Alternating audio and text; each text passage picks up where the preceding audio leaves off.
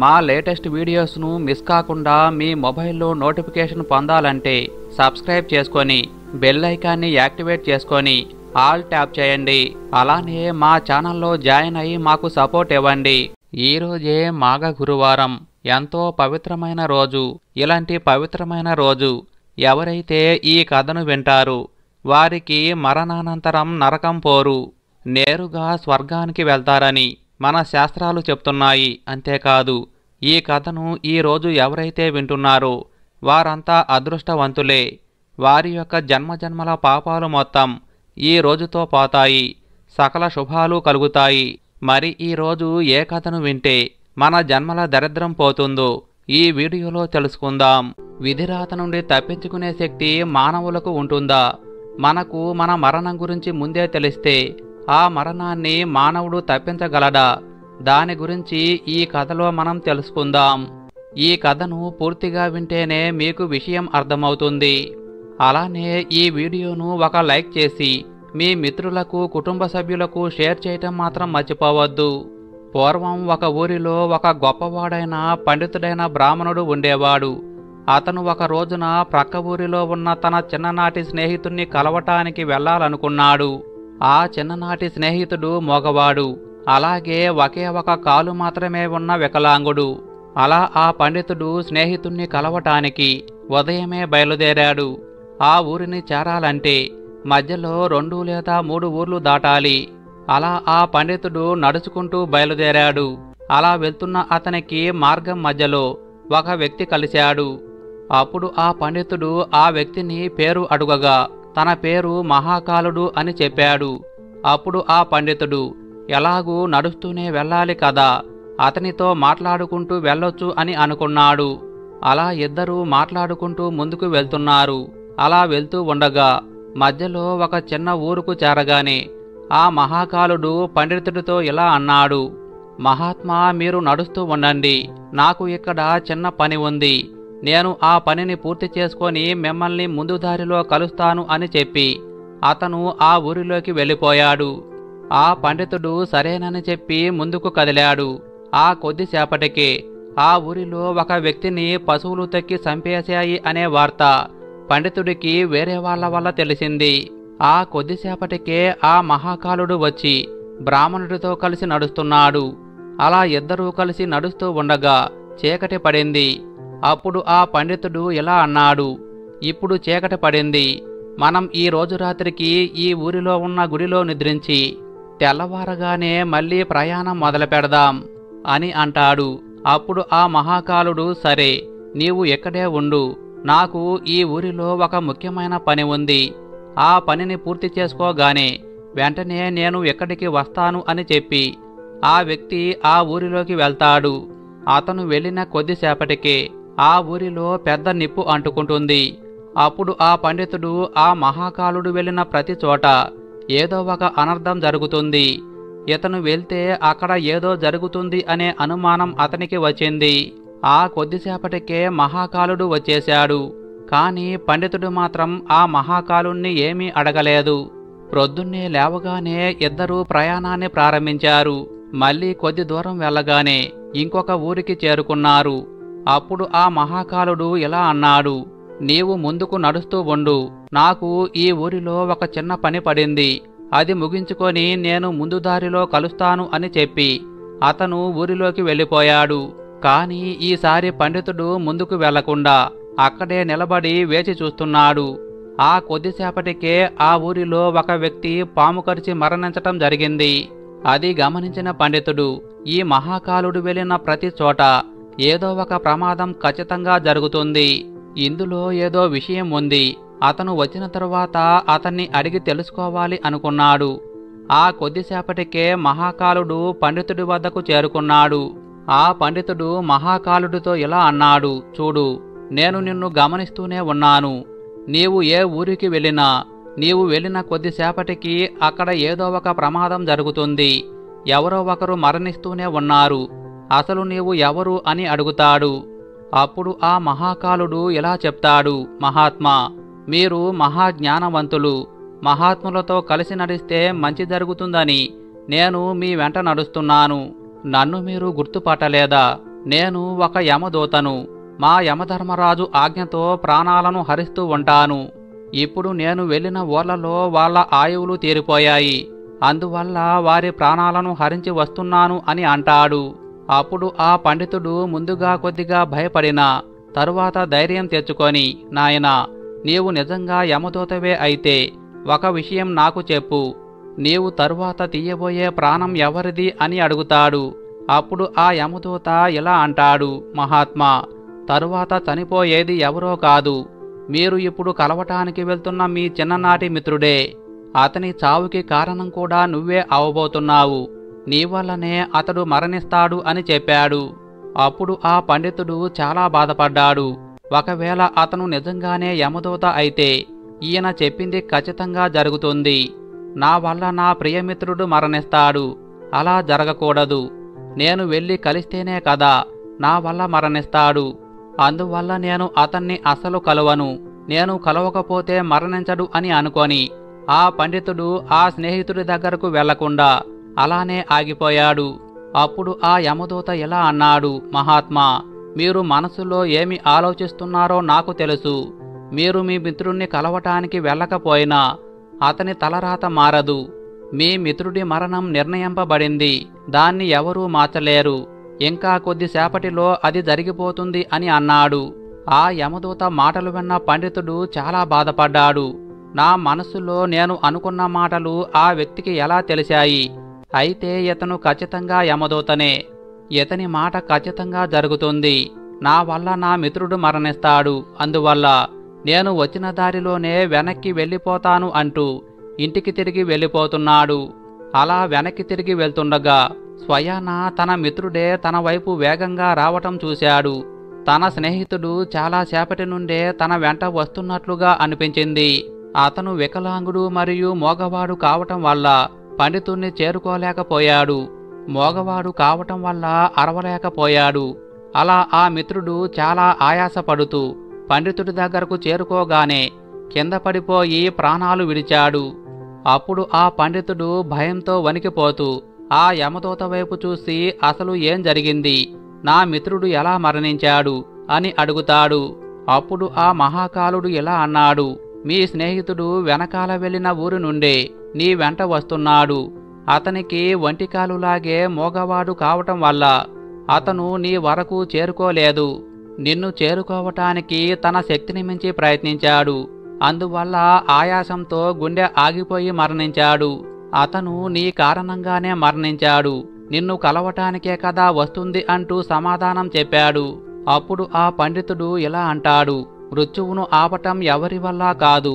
అందరికీ ఏదో ఒకసారి మృత్యువు వచ్చి తీరుతుంది అంటూ తనను తాను సముదాయించుకొని తన స్నేహితుని దహన సంస్కారాలు పూర్తి చేశాడు. అప్పుడు ఆ పండితుడికి తన మృత్యువు గురించి తెలుసుకోవాలనే కోరిక కలిగింది. అప్పుడు ఆ పండితుడు ఇలా అంటాడు ఓ యమదూత మరి నాకు మృత్యువు ఎప్పుడు ఎలా సంభవించబోతుందో తెలియజేయండి అని అడుగుతాడు. అప్పుడు ఆ యమదూత ఇలా అంటాడు మహాత్మా సాధారణ జీవులకు మృత్యువును గురించి ముందే తెలుసుకోవటం మంచిది కాదు. ఎవరైనా సరే తమ మరణాన్ని గురించి ముందే తెలుసుకుంటే దుఃఖాన్ని పొందుతారు. కానీ మీరు చాలా జ్ఞానవంతులు. అలానే మీ మిత్రుడి మరణాన్ని చూసి మరణాన్ని ఎవరూ తప్పించలేరు అనే సత్యాన్ని తెలుసుకున్నారు. అందువల్ల నీ మృత్యువు గురించి నీకు తెలిసినా మీరు అంతగా దుఃఖించరు. అందువల్ల నేను మీ మరణ రహస్యాన్ని చెప్తాను. మీ మరణం ఈ రోజు నుండి సరిగ్గా ఆరు నెలల్లో సరిగ్గా ఇదే రోజు ప్రకరాజ్యంలో ఉరివేసి చంపబడతారు. అలా మీకు మరణం సంభవిస్తుంది. ఆశ్చర్యాన్ని కలిగించే విషయమేంటంటే మీరు నవ్వుతూ ఆ ఉరిని స్వీకరిస్తారు అని చెప్పి ఆ మహాకాలుడు అక్కడి నుండి వెళ్ళిపోయాడు. ఆ తరువాత పండితుడు కూడా తన ఊరికి వెళ్ళిపోయాడు. ఎంతటి పండితుడైనా తన మరణం గురించి ఖచ్చితంగా తెలిస్తే భయం కలుగుతుంది. అలానే ఆ మృత్యువును తప్పించుకునే ప్రయత్నాలు చేస్తారు. సరిగ్గా ఆ పండితుడు కూడా అదే చేశాడు. ఆ పండితుడు గొప్ప విద్వాంసుడు కావటం వల్ల అతని కీర్తి ఆ దేశ రాజుగారి వరకు తెలుసు. అప్పుడు ఆ పండితుడు మహారాజు వద్ద గొప్ప గొప్ప జ్ఞానవంతులైన మంత్రులు ఉంటారు. వారి దగ్గరకు వెళ్ళి నా గురించి చెప్తే వారు మృత్యువును ఆపే ఏదో ఒక ప్రయత్నం చేస్తారు అని ఆలోచించి మరునాడు ఉదయాన్నే రాజసభకు వెళ్ళి జరిగిన వృత్తాంతం మొత్తం చెప్పాడు. అప్పుడు ఆ మహారాజు మంత్రులను సలహా అడిగి ఈ పండితుడు చెప్పింది నిజమే అయితే ఇతని మరణం ఆరు నెలల తరువాత అది కూడా వేరే రాజ్యంలో జరుగుతుంది. అందువల్ల ఈ పండితుడు వచ్చే ఆరు నెలలు ఈ కోటలోనే ఉండాలని దానికి కావలసిన అన్ని సౌకర్యాలు ఏర్పాటు చేయమని ఆదేశించాడు. నా అనుమతి లేకుండా ఈ పండితుణ్ణి ఎవరూ కలవకూడదు. అలాగే పండితుడు మాత్రం స్వేచ్ఛగా తిరగవచ్చు అని ఆదేశించాడు. ఎందుకంటే పండితుడికి తిరిగే స్వేచ్ఛ లేకపోతే అతన్ని బంధించినట్లుగా అవుతుందని అతడికి ఎక్కడైనా తిరిగే స్వేచ్ఛను ఇచ్చాడు. కాగా ఆ పండితుడు మృత్యువుకు భయపడి బయటకు కూడా రావటం లేదు. కోటలోనే ఉంటున్నాడు. కాలం గడుస్తూ ఉంది. చివరికి పండితుడికి మృత్యువు సంభవించే రోజు వచ్చింది. తెల్లవారితే మరణం సంభవించే రోజు అప్పుడు ఆ పండితుడు ఇలా అనుకున్నాడు? నేను బయటకు వెళ్తేనే కదా మరణం. నేను ఎలాగూ బయటకు వెళ్ళను. ఎక్కడే ఉంటాను. ఎక్కడే ఉంటే మరణం సంభవించదు. ఇక నేను మరణాన్ని తప్పించుకున్నట్లే అని అనుకొని ఆనందంగా ఆ రోజు రాత్రి తొందరగానే నిద్రించాడు. ఆ పండితుడికి నిద్రలో నడిచే అలవాటు ఉంది. ఆ విషయం అతనికి కూడా తెలియదు. అలా ఆ పండితుడు నిద్రలో నడుచుకుంటూ కోట బయటకు చేరుకొని ఒక గుర్రపు బండి మీద కూర్చున్నాడు. పండితుడికి ఎక్కడైనా తిరిగే స్వేచ్ఛ ఉంది కాబట్టి అతన్ని ఎవరూ ఆపలేదు. అలా అతను గుర్రపు బండిపైనే వెళ్తూ ప్రక్కన ఉన్న రాజ్యంలోకి ప్రవేశించాడు. రాత్రి సమయం కావటం వల్ల అందరూ గాఢ నిద్రలో ఉన్నారు. ఆ పండితుడు గుర్రపు బండి దిగి నడుచుకుంటూ నేరుగా మహారాణి పడక గదిలోకి చేరుకొని మహారాణి మంచంపైనే పనుకున్నాడు. తెల్లవారగానే మహారాజు పండితుడు మహారాణి ప్రక్కన పనుకొని ఉండటం గమనించి కోపంతో ఊగిపోయాడు. వెంటనే బడులను పిలిపించి ఆ పండితుణ్ణి బంధించి వేశాడు. ఆ పండితుడికి ఏమీ అర్థం కాలేదు. అసలు తాను ఈ రాజ్యంలోకి ఎలా వచ్చాడో తెలియటం లేదు. ఆ పండితుణ్ణి రాజసభలో ప్రవేశపెట్టారు. పండితుణ్ణి చూడగానే మహారాజు కోపంతో ఊగిపోతూ పండితుడికి ఉరిశిక్షను విధించాడు.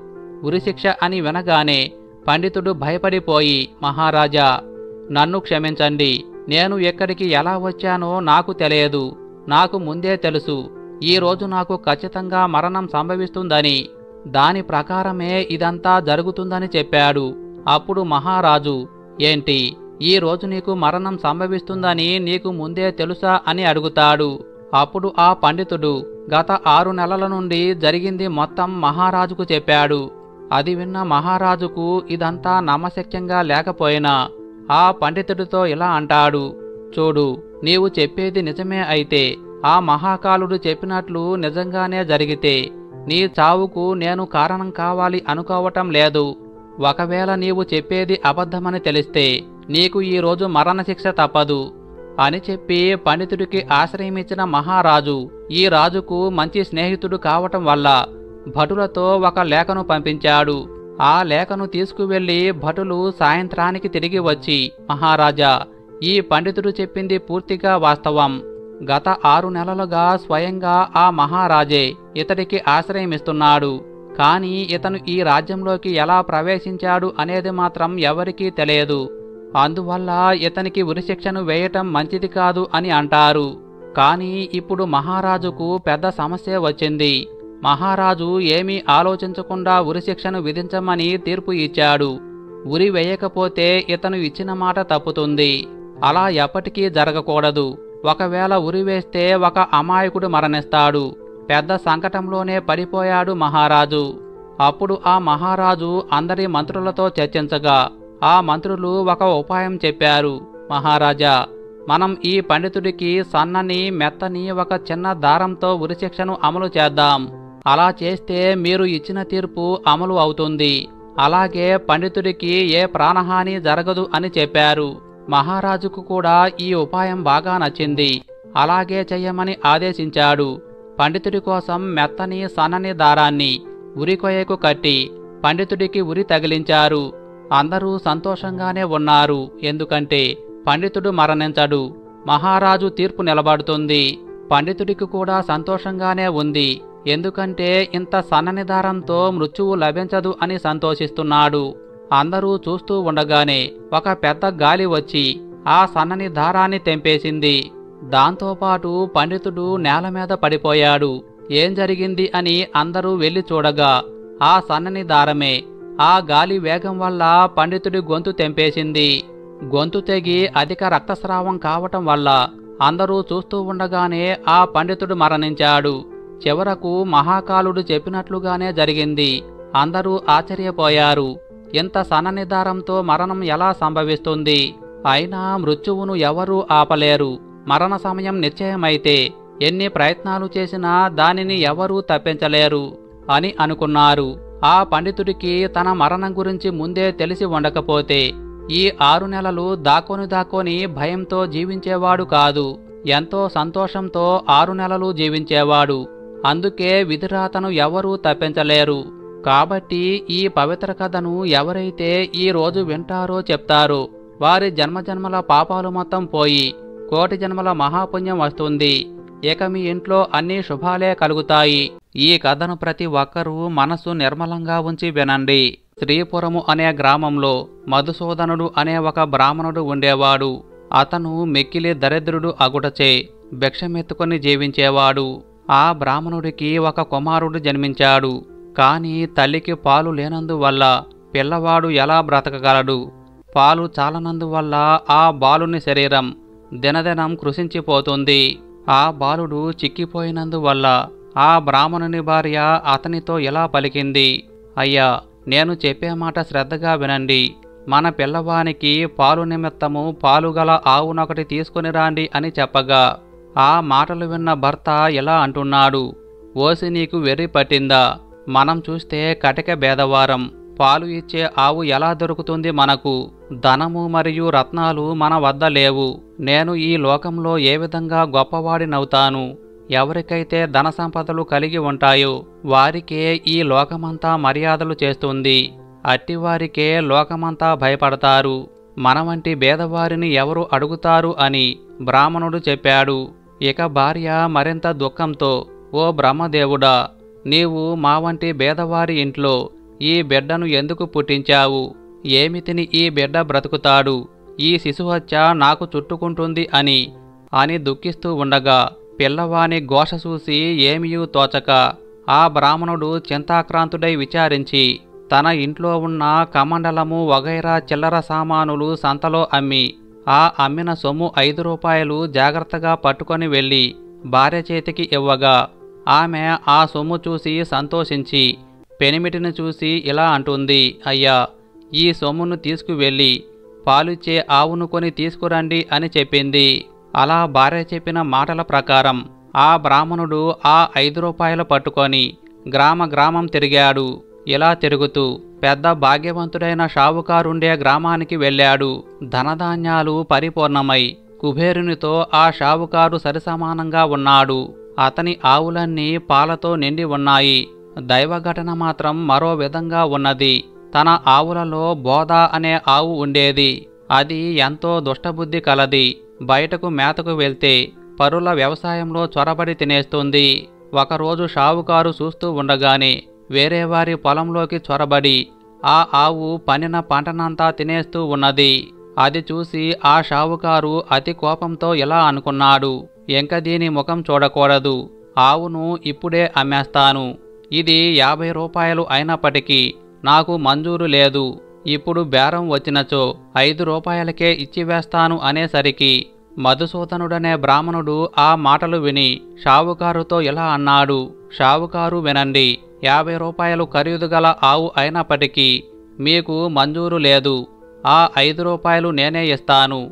ఆవు దూడను రెండింటినీ నాకు ఇప్పించండి అని అనగానే ఆ షావుకారు ఇలా అన్నాడు ఓ బ్రాహ్మణుడా నీకు వెర్రి పట్టినదా? అని షావుకారు అన్నాడు అంత బ్రాహ్మణుడు మీరు షావుకారులై ఉన్నారు. మీ మాట మీరు నిలుపుకోండి. మాట తప్పితే మీరు అసత్యవంతులవుతారు అని అన్నాడు. ఆ బ్రాహ్మణుడన్న మాటలు షావుకారు విని తన మదిలో విచారించి తెలియక అని వేశాను ఈ బ్రాహ్మణుడు ఎక్కడి నుండి వింటున్నాడు? ఈ ఆవును అతనికివ్వకపోతే నాకు అసత్యం ప్రాప్తిస్తుంది కదా? అని బ్రాహ్మణుణ్ణి చూసి ఆ ఐదు రూపాయలు సొమ్ము ఇవ్వమని అడిగాడు. వెంటనే సొమ్ము పుచ్చుకొని ఆవును దూడను బ్రాహ్మణుడికి షావుకారు ఇచ్చి వేసినాడు ఇక ఆ రెండింటిని తోలుకొని ఇంటికి పోయాడు. ఆ ఆవును చూడగానే బ్రాహ్మణ స్త్రీ చంద్రుణ్ణి చూసిన కలువ వలె సంతోషించింది. వెంటనే పాలు పితికి కుమారుడికి పోసి ఆనందం పొందింది. ఇలా కొన్ని దినాలు గడిచిన తరువాత ఆవు ఎటుపోయిందో కనిపించలేదు. పొద్దుపోయే వేళ అయింది. ఆవు రాకపోవటం చూసి బ్రాహ్మణుడు వెతకబోయాడు. వీధుల్లోనూ సమీపమునున్న వ్యవసాయ భూముల్లోనూ చూశాడు. ఆవు కనిపించలేదు. తెల్లవారగానే నిద్ర మేల్కొని ఆవును వెతకటానికై బయలుదేరి కొంత దూరం నడిచి వెళ్ళి తోటలోనొక చెట్టును చూశాడు. అది ఒక గొప్ప మర్రి చెట్టు. పైన ముగ్గురు మనుషులు కూర్చొని ఉన్నారు. వారు వరుసగా బ్రహ్మ విష్ణు మహేశ్వరులు. వారే త్రిమూర్తులు. అటువంటి చెట్టు కింద బ్రాహ్మణుడు కూర్చొని ఆయాసం తీర్చుకొని లేచిపోవుచుండగా త్రిమూర్తులు బ్రాహ్మణుడితో ఇలా అంటున్నారు. ఓ విప్రుడా నీ మనసుకు ఎందుకంత దుఃఖం కలిగింది? నీవు ఎక్కడికి వెళుతున్నావు? ఆ సంగతి మాతో చెప్పు అనగా ఇక బ్రాహ్మణుడు చేతులు జోడించి అయ్యా నేను కడు బేదవాడను భిక్షమెత్తుకొని బ్రతికేవాడను నాకు ఒక ఆవు ఉన్నది ఆవు కనిపించటం లేదు ఈరోజు శ్రీపురం సంత ఉన్నది ఆ సంతకు వెళ్ళి వెతుకుతాను ఎవరైనా దొంగలించి తీసుకొని పోయినట్లయితే ఆ సంతలోనే అమ్ముతారు కదా త్రినాథ స్వాములారా. ఈ ఉద్దేశంతోనే నేను వెతుక్కుంటూ వెళ్తున్నాను అని ఆ సంగతి చెప్పాడు. అది విని బ్రాహ్మణుడికి త్రిమూర్తులు ఎలా చెప్తున్నారు ఓ విప్రుడా నీవెలాగూ సంతకు వెళ్తున్నావు కనుక మాకు ఏమన్నా కొన్ని దినుసులు తీసుకురావాలి అని త్రిమూర్తులు అన్నారు. అంతటా బ్రాహ్మణుడు ఏమి దినుసులు కావాలి అని అడుగగా త్రిమూర్తులు ఇలా చెప్పారు. ఒక పైసా ఆకు చెక్క ఒక పైసా నూనె మాత్రము తెచ్చి ఇమ్మని చెప్పిరి. ఆ మాటలు విని బ్రాహ్మణుడు ఇలా అన్నాడు ఓ త్రిమూర్తులారా నాకు పైసాలు ఎక్కడ దొరుకును? నేను కడు బేదవాడిని కదా భిక్షమెత్తుకొని జీవించుచున్నాను నేను ఎలా తేగలను అనగా త్రిమూర్తులు ఏమని చెప్పుచున్నారంటే ఓ బ్రాహ్మణుడా మేము చెప్పేది జాగ్రత్తగా విను. అదిగో ఆ గోరంట పద కనిపించుచున్నది కదా దాని మొదట మూడు పైసలు ఉన్నవి. ఇక ఆ మాటలు విని బ్రాహ్మణుడు వెళ్ళి ఆ గోరింటాకు చెట్టు మొదట్లో కదిపాడు. అక్కడ ఆ గడ్డిలో మూడు పైసాలు దొరికినవి. ఇంకా ఉన్నాయేమోనని ఆ చెట్టు నింకను పైకి లాగాడు. అది చూసి త్రినాథుల వారు ఓ బ్రాహ్మణుడా నీకు వెర్రి పట్టిందా? అందులో పైసలు ఇంకా లేవు. ఎంత దొరికినదో అంతే ఉండును అని అన్నారు. ఆ మాటలు బ్రాహ్మణుడు విని అతడి నుండి వెళ్ళిపోయాడు. కొంత దూరం వెళ్ళి తిరిగి వచ్చి ఆ చెట్టు క్రింద నిలిచి చేతులు జోడించగా త్రినాథులు ఇలా పలికారు? ఓ విప్రుడా తిరిగి ఎందుకు వచ్చావనగా? అయ్యా మీరు చెప్పిన వస్తువులు నేను ఎలాగ తెస్తాను అని ప్రశ్నించగా నీ పై మీద గావంచాలో తెమ్మని త్రినాథులు అన్నారు. అందుక బ్రాహ్మణుడు గావంచాలో నూనె ఎలా ఉంటుంది? నాతో కపటంగా చెప్తున్నారు అని అనగా దానికి త్రినాథుల వారు ఇలా అన్నారు ఓయి నీతో కపటంగా చెప్పటం లేదు. మమ్ము తలుచుకొని నూనె గావంచాలో పోసి తీసుకురమ్మని చెప్పగా ఆ బ్రాహ్మణుడు శ్రీపురం సంతలో ప్రవేశించాడు. వెళ్ళి చూడగా తన ఆవు కనిపించలేదు. త్రినాథుల కరుణచే పైపంచలో నూనె నిలుచుటకు ఆకులు వక్కలు తీసుకొని నూనె కోసం బజారుకు వెళ్ళి తెలకలివానితో ఇలా అన్నాడు. ఒక పైసా నూనె ఈ గావంచాలో పొయ్యమన్నాడు అందుక తెలకలివాడు ఆశ్చర్యపడి ఈ బ్రాహ్మణుడు పిచ్చివాడు కాబోలని నూనె లేదు అని చెప్పాడు. అక్కడ నుండి వెళ్ళి ఒక ముసలి తెలకలివానిని నూనె అడిగాడు. అంతటా ఆ ముసలివాడు దిగుమట్టు నూనె ఎంతటిది కావాలని అడుగ్గా ఒక పైసా నూనె మాత్రమేమని బ్రాహ్మణుడు గావంచా చూపినాడు. ఇక తెలకలివాడు ఈ బ్రాహ్మణుడు వికారపువాడు కాబోలు వీనిని మోసం చేసి పైసాలు తీసుకుంటాను అని ఆలోచించి కొలత సాత్ర తిరగవేసి నూనె కొలత వేసి ఇచ్చినాడు. ఇక ఆ బ్రాహ్మణుడు గావంచా కొన చెంగు పట్టుకొని అతడి నుండి వెళ్ళిపోయాడు. ఇక వెంటనే తెలకలివాని కుండలో నూనె కొంచెమైనా లేకుండా పోయింది. అది చూసి తెలకలివాడు మూర్చెపోయాడు తెలకల వాళ్ళందరూ పరిగెత్తుకు వచ్చి ముసలివాని ముఖంపై నీళ్ళు చల్లి సేద తీర్చి కూర్చోబెట్టారు. అప్పుడు ఆ తెలకలివాడు ఇలా అన్నాడు ఏమి చెప్పుదును? ఎక్కడి నుండో ఒక బ్రాహ్మణుడు వచ్చి గిద్దెడు నూనె కొన్నాడు. ఇప్పుడే ఇలా వెళ్ళాడు. కొండలో చూడగా నూనె లేదని చెప్పగా అందరూ ఎంతో బాధపడ్డారు. అప్పుడు ఆ తెలకలి వాళ్ళంతా ఇలా అన్నారు? ఆ విప్రుడు మా వద్దకు కూడా వచ్చి మమ్ము కూడా నూనె అడిగాడు. లేదని అనగా వెళ్ళిపోయాడు. ఇలాగ అందరూ విచారించి పరిగెత్తుకొని విప్రుని వద్దకు వెళ్ళి ఇలా అన్నారు? ఓ బ్రాహ్మణుడా చెప్పేది జాగ్రత్తగా విను. మీరు నూనె కొన్నారు కదా అది కొలతకు తక్కువగా ఉంది. పూర్తిగా ఇచ్చివేస్తాము పట్టుకొని వెళ్ళండి అన్నారు.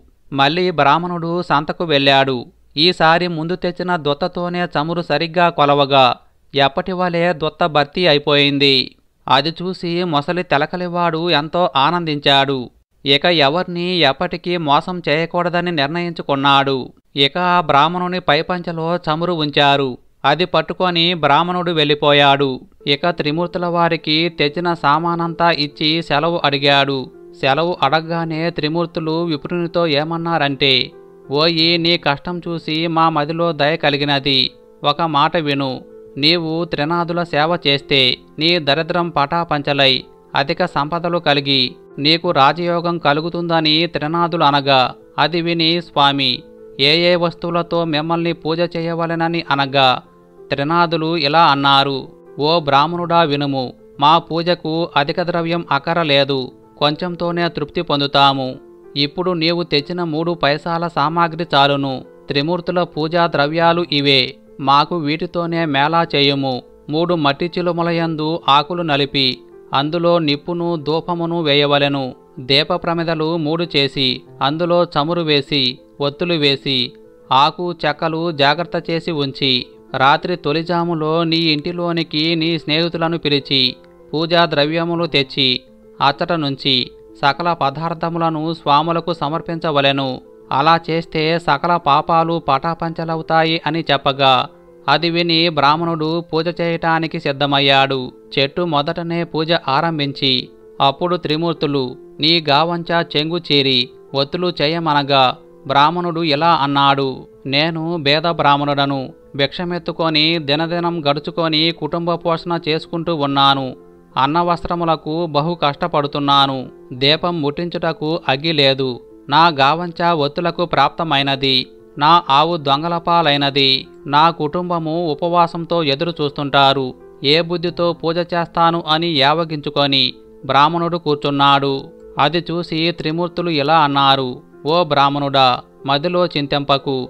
నీ ఆవు దూడ దొరుకుతాయి. నీ కుటుంబము సౌఖ్యంగా ఉంటారు. వస్త్రములు కూడా దొరుకుతాయని చెప్పారు. అంతటా బ్రాహ్మణుడు చేతులు జోడించి స్వాములారా అటువంటి భాగ్యం నాకెప్పుడు కలుగుతుందో? అప్పుడు ఐదు మేళాలు స్వామివారికిస్తాను. ఈ మాట సత్యమని చెప్పినాడు. దీపం వెలిగించుటకు అగిలేదే. నేనేమి చేయగలను అనగా త్రిమూర్తులు ఇలా చెప్తున్నారు. ఓ బ్రాహ్మణుడా నీ రెండు నేత్రములు మూసుకో. వెంటనే బ్రాహ్మణుడు నేత్రములు మూసుకొనగా అకస్మాత్తుగా దీపం వెలిగింది. అది చూసి బ్రాహ్మణుడు ఆనందించి స్వామికి మేళా సమర్పించినాడు. మేళా ఇచ్చివేసి ఆనందంతో బ్రాహ్మణుడు చేతులు జోడించి సాష్టాంగ దండ ప్రమాణం చేశాడు. త్రినాథులు బ్రాహ్మణుణ్ణి అనుగ్రహించారు. త్రిమూర్తుల వద్ద సెలవు పొంది కొంచెం దూరం ప్రయాణం చేయగా త్రోవలో ఆవు దూడ కనిపించాయి. ఎంతో సంతోషించాడు బ్రాహ్మణుడు. త్రినాథుల వారు నాయందు దయ ఉంచి ఆవును దూడను తెచ్చి ఇచ్చినారు.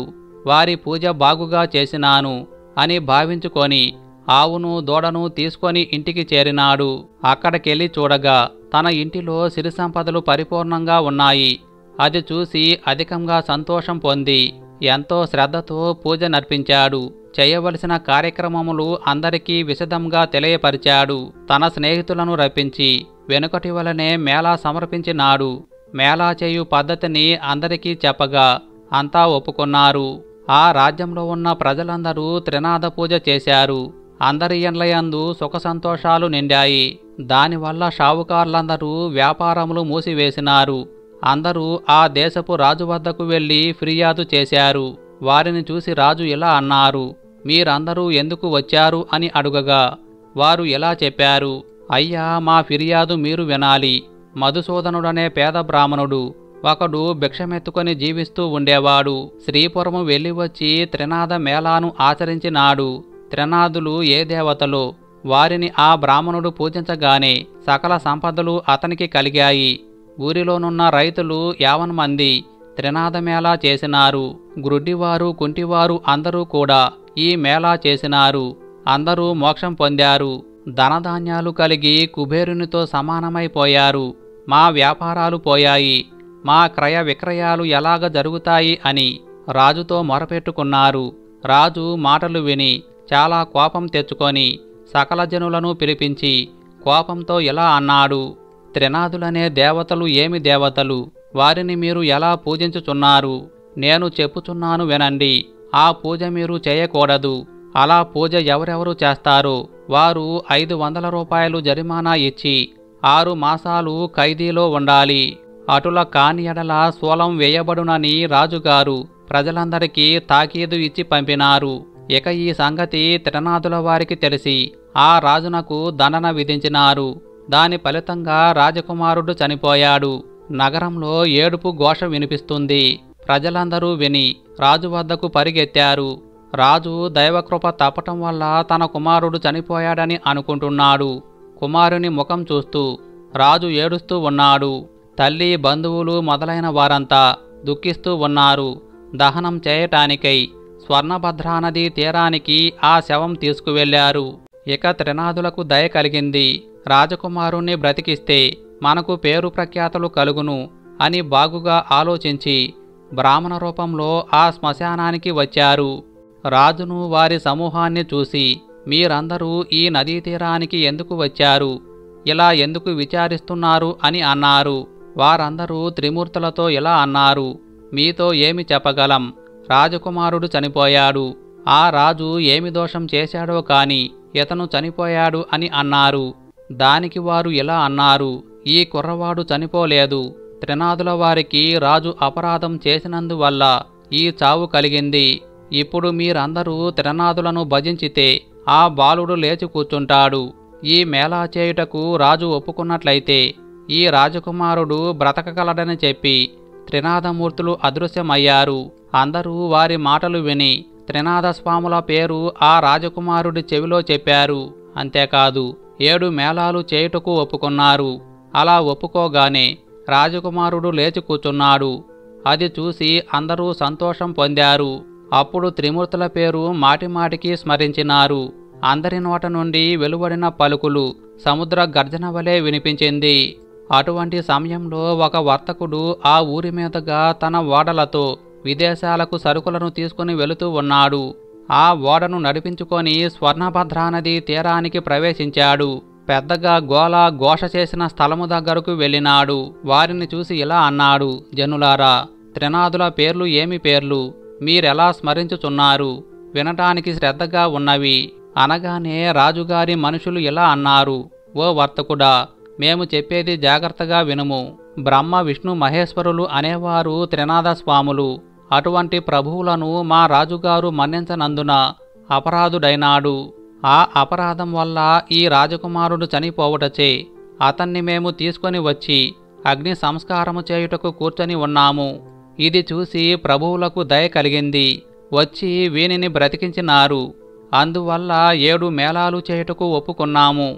వెంటనే రాజకుమారుడు బ్రతికి కూర్చున్నాడు. ఈ విధంగా వారు చెప్పగా విని షావుకారు మదిలో సంతోషించి అటువంటి ప్రభువులెక్కడుండురో చనిపోయిన రాజకుమారుడు బ్రతికి కూర్చుండెను. నా ఓడలు ఒడ్డున అడ్డుకొని ఉన్నవి. నేను ఈ ఓడపై వెళ్ళి వస్తాను. నా ఇంటికి సుఖంగా చేరుకుంటాను. నాకు వ్యాపారంలో నష్టం రాకుండా ఉంటే ప్రభువుల వారికి ఐదు మేళాలు చేస్తాను. ఇక షావుకారు పైదేశం వెళ్ళి అతట గొప్ప లాభం పొంది తిరిగి వచ్చి ఓడ నడిబొడ్డున లంగరు చేయించి ఇంటికి వెళ్ళినాడు. తన నౌకర్లందరూ ఓడలోని ధనాన్ని మోసుకొని పోయారు. ధనమును ఇంటిలో వేసుకొని షావుకారు సంతోషంతో ఉన్నాడు. ధనం చూసి ప్రభువుల వారి మేళాలు మరిచాడు. అందుకు ప్రభువులకు కోపం కలిగి దండన వేసినారు. ఇక వెంటనే వాడ నీటిలో మునిగిపోయినది. నౌకర్లు వాడలోనున్న వారందరూ నీటిలో మునిగిపోయారు. అది తెలిసి అతను కూడా భూమిపై పడి గోల పెట్టినాడు. మరికొంతసేపటికి తెలివి తెచ్చుకొని ఏడుస్తూ ఉండగా ఆకాశంలో నుండి ఇలా వినిపించింది మేము త్రినాథ స్వాములం నీవు మాకు మేళాలు ఇవ్వటం మర్చిపోయావు. అందుచేతనే వాడ మునిగిపోయింది. నీవు ఐదు మేళాలు సమర్పించినట్లయితే నీ ఓడ నీకు వస్తుంది అని చెప్పినారు.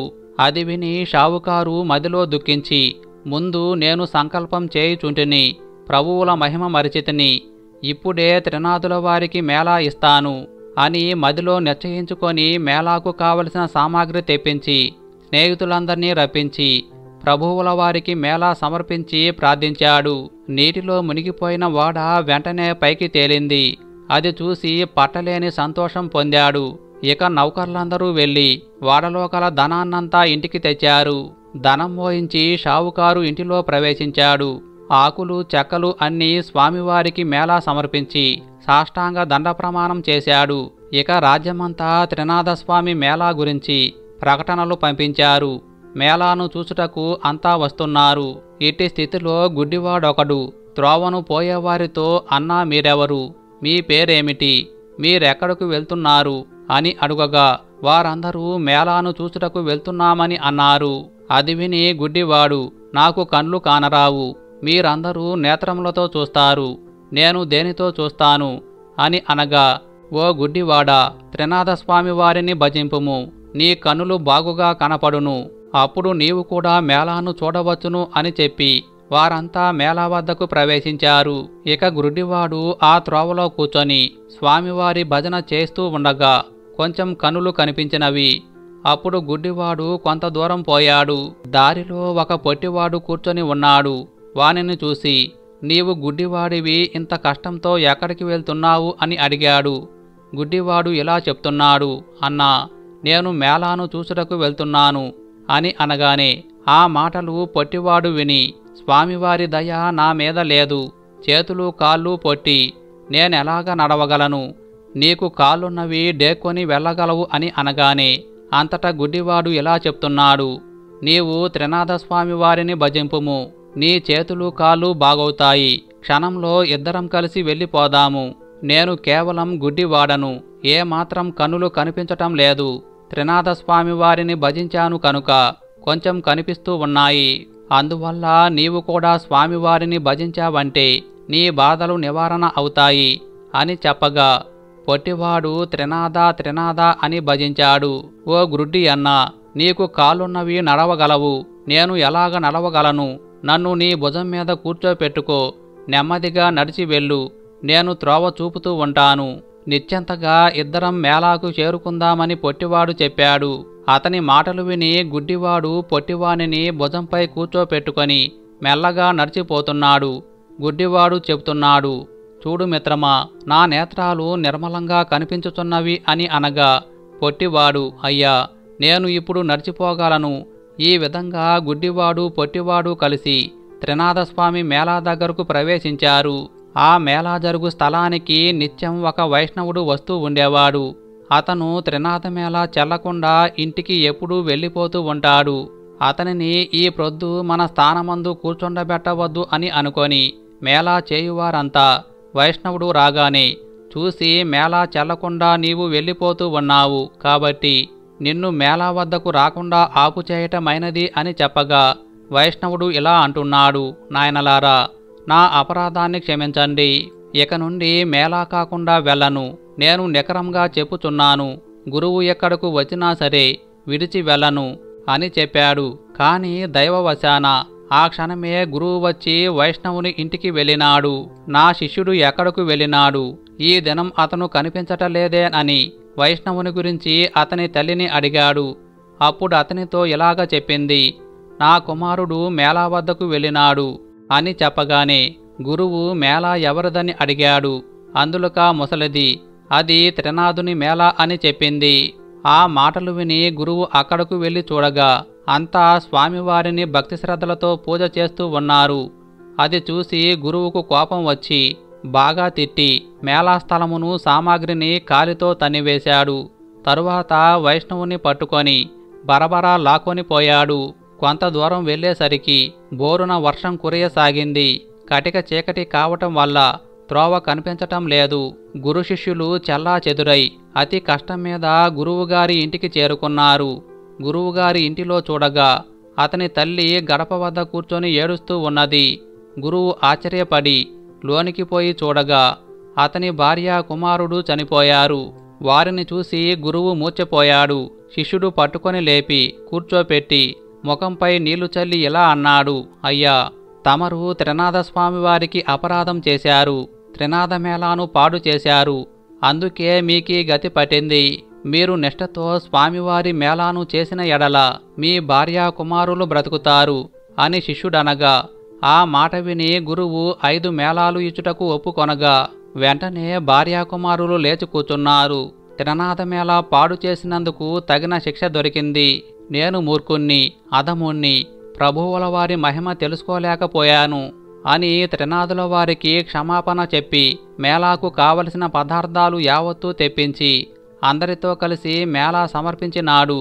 ఇక ఆకులు చెక్కలు అందరూ పంచుకొని సేవించి సుఖంగా జీవించారు.